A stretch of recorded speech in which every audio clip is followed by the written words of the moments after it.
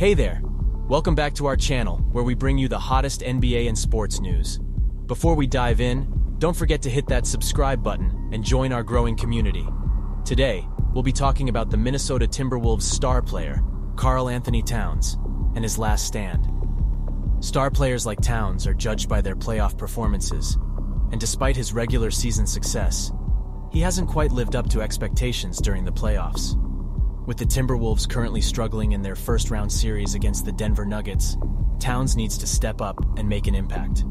Over 13 career playoff games, Towns has averaged roughly 17.5 points per game on 45% shooting. However, his passivity in the playoffs has been a concern.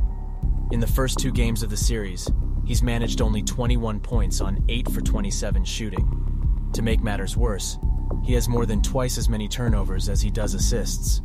The Timberwolves have lost the first two games, but there's still hope for them to turn things around in games 3 and 4 on their home turf. They need their three time All Star to step up and take control of the offensive end. Towns has the potential to be a game changer with his shooting and spacing abilities, but he needs to find a way to integrate himself into the team's strategy. Towns can also contribute as an off ball threat and post up player. By working with his teammates, such as Anthony Edwards and Rudy Gobert, and running pick and roll plays at full speed, he can create scoring opportunities for himself and others. However, he needs to commit to this style of play throughout the entire game, not just in small spurts. Defensively, Towns may be at a disadvantage due to the Timberwolves roster, but he can still make an impact on the offensive end.